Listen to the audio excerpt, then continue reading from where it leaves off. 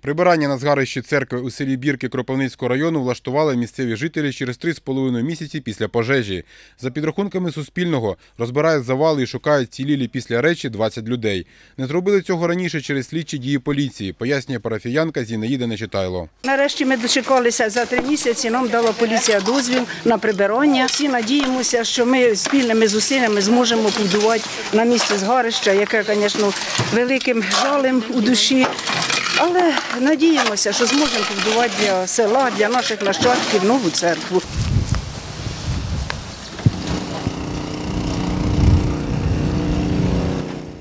Дерев'яний Свято-Миколаївський храм Православної церкви України згорів торік 11 грудня. Вона була пам'яткою архітектури 19 століття. У церкві зберігалися ікони, датовані 16 століттям. Пожежу побачили о 5.50 ранку, згадує Олександр Костенко.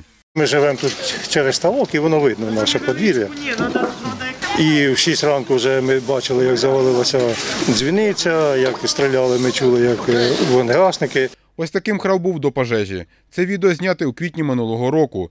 Після трьох років судів храм перейшов від Української православної церкви до Православної церкви України. Поліцейські розглядають версію підпалу, сказала телефоном речниця поліції області Віталіна Бевзенко. Продовжується розслідування кримінального провадження, розпочатого за частиною 2 статті 194 Кримінального кодексу України за умисне знищення або пошкодження майна.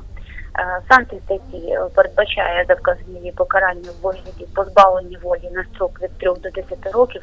На теперішній час е, в рамках розслідування слідчими призначеного низку експертиз проводяться інші заходи, спрямовані на встановлення осіб причетних На згарищі жителі знаходять деталі згорілої церкви. Є гвозді, до речі, такі цікавої форми.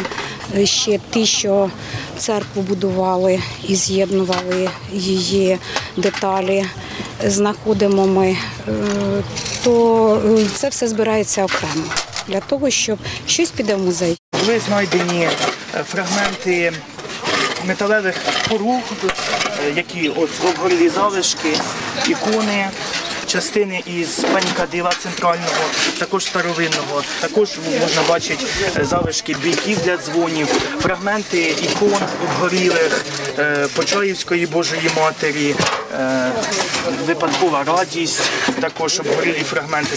Каже, все знайдене на згарищі буде на зберіганні у будинку культури. Взагалі в планах є е, відновити і створити е, кімнату музей.